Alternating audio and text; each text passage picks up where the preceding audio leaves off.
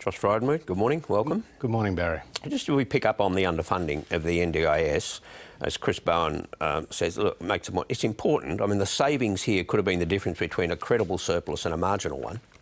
Well, look, firstly, the budget is in surplus for the first time in more than a decade. Uh, it's the first payment on Labor's debt. It's the product of a strong economy with more people in work and fewer people on welfare.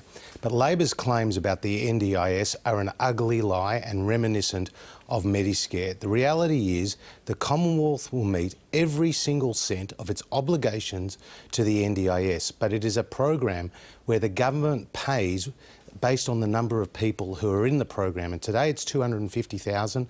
It lifts to 460,000 over time. And it's no different in the budget papers than how Labor treated carers, veterans, hospitals and schools. But to say that it's a Labor lie, you only have to listen to radio to get anecdotally a different story. I mean, a, lot of people are saying they're being jerked around, that they, they blame the system. They say it's a maze and they can't find their way through it. Well, it's one of the biggest policy reforms this country has ever seen, and 250,000 people are now in the NDIS, 78,000 of whom have never received disability support before. Now, there are 10,000 people, both within the NDIA and in terms of community workers who are helping uh, coordinate this program. That's an enormous number of people we have on the ground trying to get this to work, and we are absolutely committed in a bipartisan way to the NDIS. But do you accept that there might be some people out there who have just failed to access this scheme when they should be accessing it? Well, there has been issues in the implementation. There's no doubt about that because it is a scheme in transition. And that's where some of the underfunding comes from. But the reality is with the underfunding, um, it relates to the number of people who are in the program. So, for example, in this budget, we found $1.9 billion extra in order to meet more demand for hospitals. So we have met every single cent of our obligations based on the number of people in the program. We have not underfunded the NDIS. We will meet every cost of it, and we have $140 billion allocated in this budget to meet the NDIS payments over time. Are you prepared to at least consider perhaps better resourcing the NDIS so that people aren't finding it so difficult to negotiate? Well, as I said, we have 10,000 people within the NDIA and community coordinators who are working on this particular program. We'll do everything possible to ensure that people get the services that they need. We believe in the NDIS, we have funded the NDIS, and we have treated it in the budget papers no different to how Labor has treated other demand driven programs for carers, for veterans, for hospitals and schools, where they also had major estimate variations in Wayne Swan's budgets. On, on your tax cuts, um, Peter Costello has said that it's a waste of time promising tax cuts any further than two or three years out. A couple of elections are going to intervene in some cases and, and they'll easily vanish. What, what, do you say to that? What's, what's the point of promising tax cuts that are four years away? Well, Peter Costello has actually made very clear that the government's come back in this budget to the core narrative, which is lower taxes and paying back Labor's debt, what, something that he knows about. What, so in terms of criticism, but in terms of the tax plan that we have laid out, it's got two stages to it. It's got the immediate relief, so $1, up to $1,080 into the pockets of people earning up to $126,000. So if you're a tradie and you're a teacher, you're earning 60,000 each, you'll get $2,160 in your pocket in just 13 weeks' time. And then there's the structural reform, which flattens out and simplifies our system with changes to the to the tax brackets to ensure that 95% of taxpayers yeah. pay no more than 30 cents That's, the that's the four years from now stage. And, and that's with Peter Costello's uh, criticism. It's, it's just a waste of time talking about that because nobody's going to believe it. Well, the fact is, under our plan, 95% of people who currently pay tax will actually pay lower taxes. And as NatSem independent research modelling has shown, the average worker in Australia will be $1,000 a year better off un under us than they will be under Labor. So Labor's all about smoke, smoke and mirrors they will actually tax people more, yeah. not just on that, income. That's the immediate stuff, but you're ignoring that part of it that I raised. That what's the value of, of, of, talking about tax cuts four years away? Well, we have to put in place structural changes. That's the reality. We have to prepare the system uh, for those major changes to bring 95% of taxpayers to the point where they're paying no more than 30 cents in the dollar. Now, Labor is saying that they'll produce bigger, uh, um, uh, bigger surpluses. They'll pay down the debt faster. They'll put more money into health and education. Are you starting to appreciate what you can do with $200 billion? Well, every time Bill Shorten opens his wallet, people need to check theirs because every single promise of his is funded by higher taxes. You see, he's even talking about introducing the deficit levy, and at the other end of his mouth, he's talking about surpluses. It doesn't make sense. Paul Keating is right, Barrie.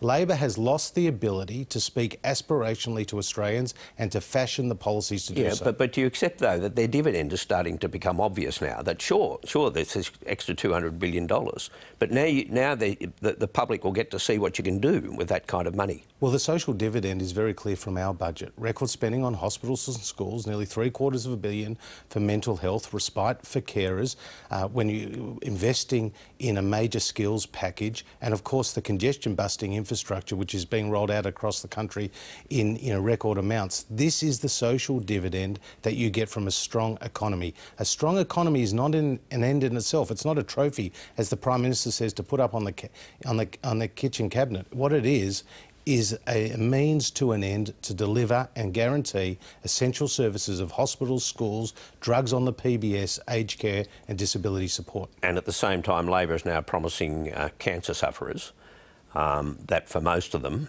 they won't be out of pocket at all in dealing with their treatment.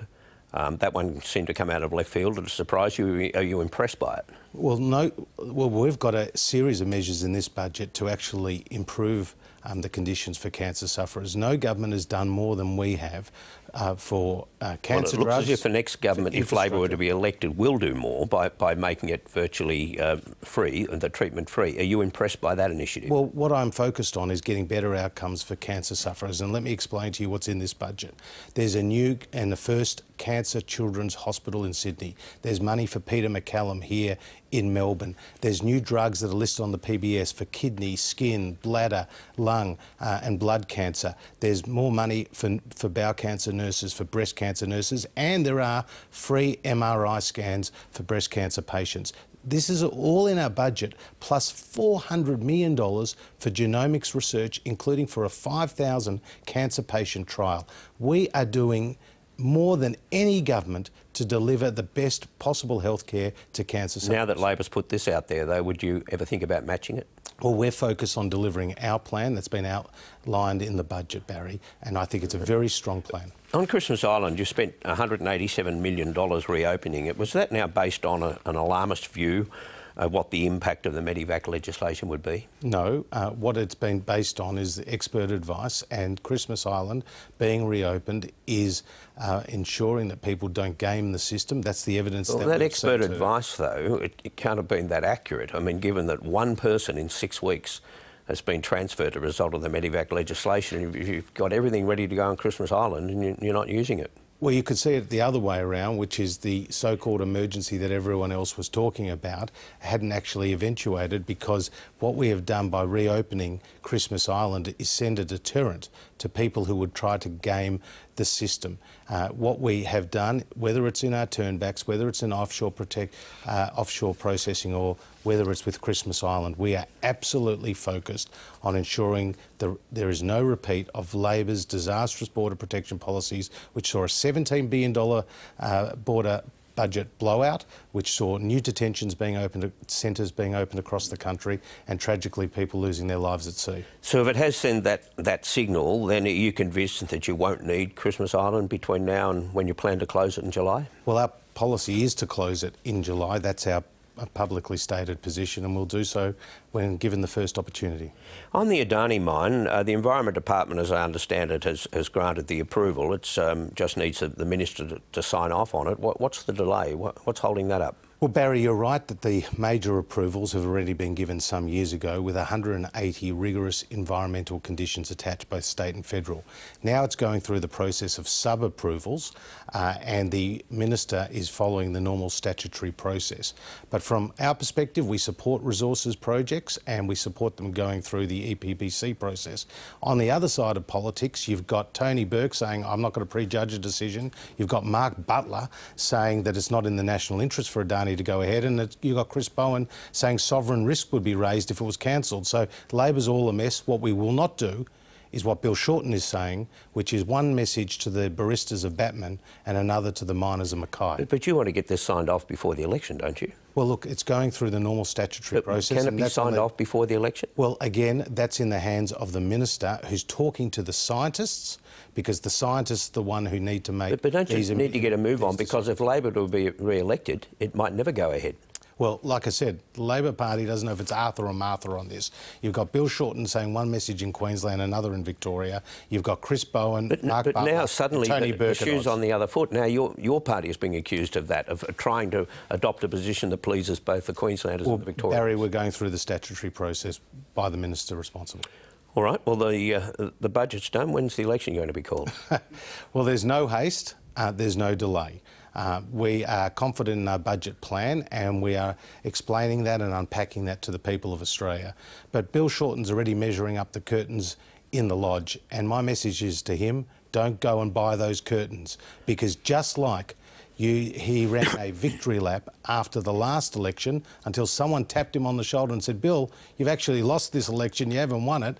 And this time round, we are going to take to the people our economic plan in a bid to win their trust to keep going. and is May 18 the last date? You're not toying with May 25? Well, there's always been three dates that have been toyed about uh, Uh, in the media the 11th, the 18th, and the 25th, and obviously that's a decision for the Prime Minister. They're all open. And how much money will you be spending on government advertising this week? Oh, well, we'll continue to spend on government advertising, just like the Labor Party spent half a billion dollars on government advertising. But I tell you what, we won't But be do you know doing. what the figure is? I mean, you're the treasurer. What, what's, what are you likely to spend this week? Well, money is being spent in accordance with approved processes, but and that's all transparent.